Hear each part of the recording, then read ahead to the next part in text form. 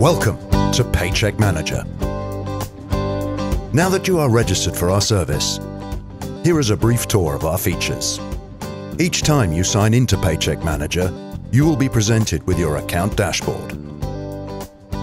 Your dashboard will include account alerts and upcoming deadlines, total paychecks you have created in the current year, a quick way to view your payroll tax payment summary and reports, to make a payment or file a report, simply click the Pay Now or File Now links. And if you should need any help on this page, just click on the tips to watch one of our help videos. To get started, you will need to add your employees by clicking on the Manage Employee tab. And you can then start adding employees.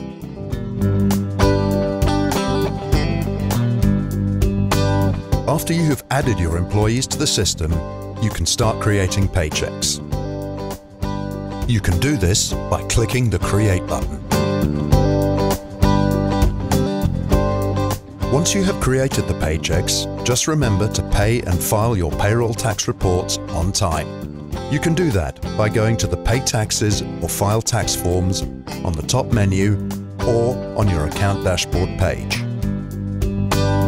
Now, you are all ready to get started. You get to try Paycheck Manager for three months free. So get started at no risk. Thank you for watching this video.